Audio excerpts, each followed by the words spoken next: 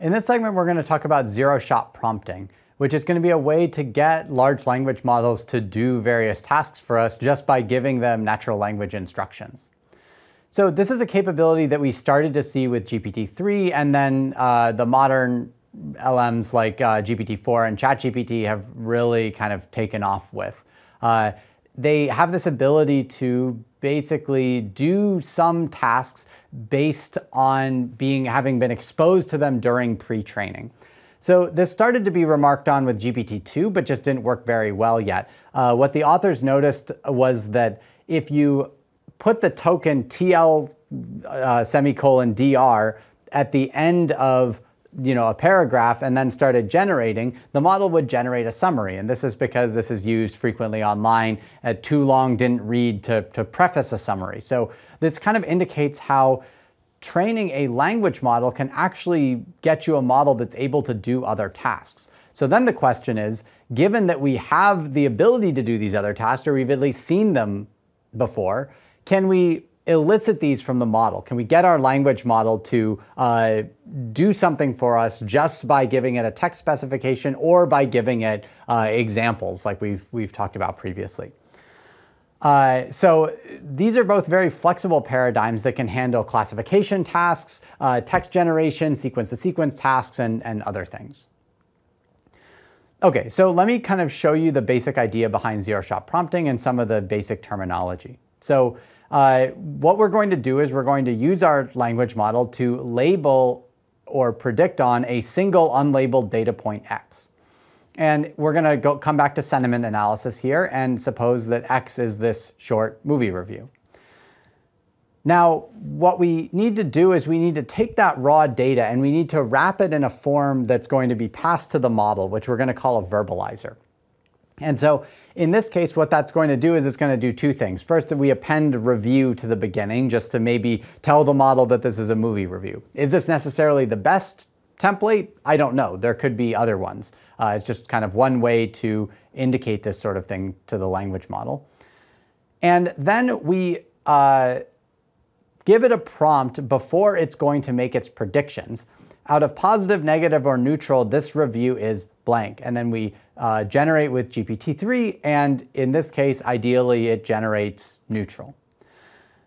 And we can use different prompts to get different kind of sentiment judgments. So for example, we could say on a one to four star scale, the reviewer would probably give this movie blank, and maybe it would generate three stars as a continuation. So immediately you can see that there's a kind of greater flexibility than in a lot of classification tasks because we're able to specify some sort of label space and then ideally the model will respect that.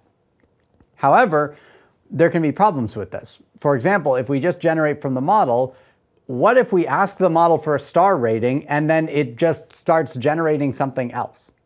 We don't necessarily have a good way of constraining it only to use the labels that we give it.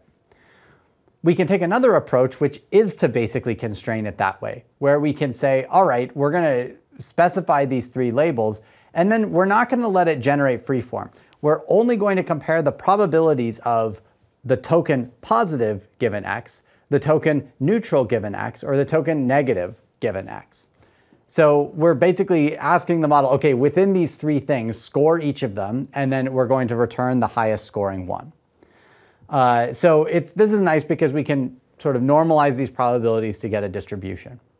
However, I will say that it's still not very clear that the model totally knows the semantics of all of these labels, right? If you fine-tuned a model on a data set of sentiment examples and you see examples of all of this, the model can learn, okay, here's how the you know, neutral is getting applied in this data set. Whereas with zero-shot prompting, you're completely at the mercy of how this sort of happened in the pre-training data. Basically, did the model see neutral being used in a way that's like how you want neutral to be used? And that may be true, but if you're asking it to do something slightly unexpected, it may, the fact that it has this prior from its pre-training may actually cause problems for you. Okay, so we've talked about several of these different approaches. How much difference does kind of changing the prompt make? We're not going to compare these two approaches specifically, but we are going to look at different verbalizers here. This is a paper by Hila Gonen et al. where they looked at making a lot of prompts by manually writing some and then uh, basically paraphrasing them and kind of auto-generating a whole bunch of different ones.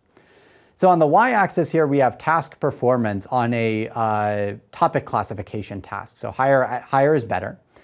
And we see that a prompt that works really well, for example, is this one, in which section of the newspaper would you expect to find this article?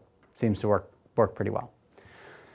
Now, the x-axis shows perplexity, which is perplexity of the prompt itself. So what they're doing is basically evaluating how natural is this prompt.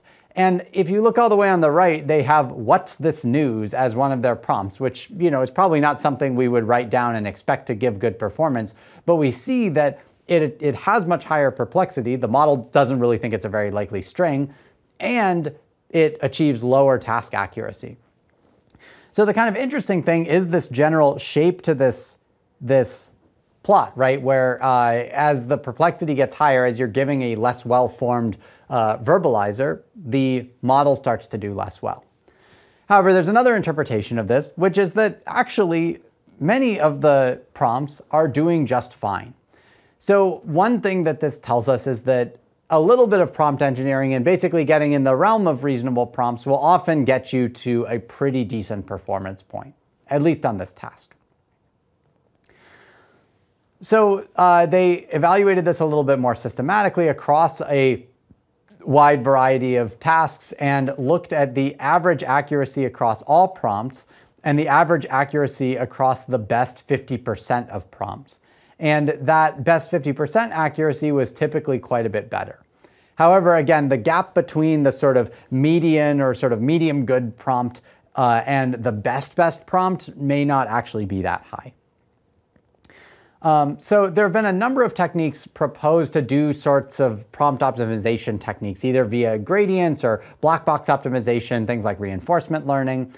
Uh, and we're not going to talk about this literature. The story may change, but at least at this point, many of these do not dramatically improve the results over just doing some manual engineering.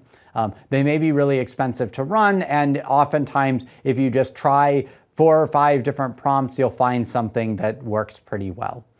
And another kind of ingredient here is that the latest models like ChatGPT are specifically trained to do better when given prompts compared to basic language models. So they're just much more accommodating of ill-posed prompts and things like that because of how they were trained. And so uh, it's a the kind of role of prompt engineering and how much that's going to specifically uh, you know, drive performance improvements uh, is a little unclear going forward.